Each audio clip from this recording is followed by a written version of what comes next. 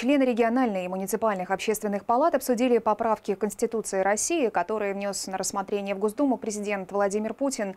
Документ отправили в регионы для изучения и внесения предложений.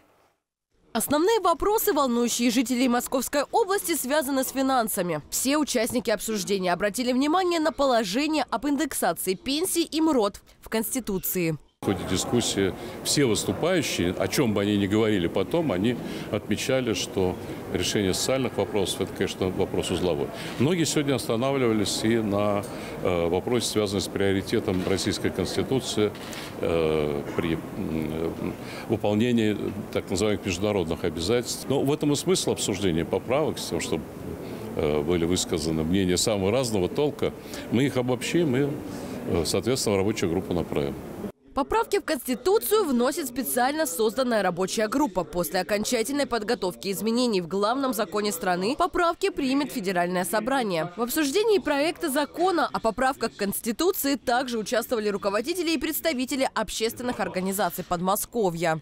Данные поправки, которые, мы будем надеяться, пройдут э, общий государственный референдум, э, на котором все жители смогут э, высказать свое мнение по данной тематике, э, являются актуальными и востребованными духу сегодняшнего времени и, позво и позволят э, системно и качественно развиваться в нашей стране.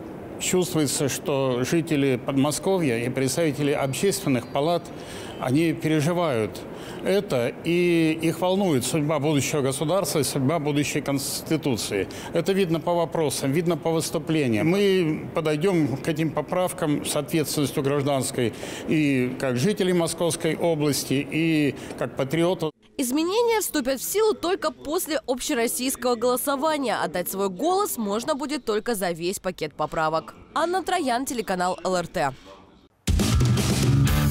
Всем привет, я Луиза, а вы смотрите телеканал ЛРТ. Подписывайтесь на наш канал на YouTube, ставьте лайки, и вы будете в курсе самых интересных событий.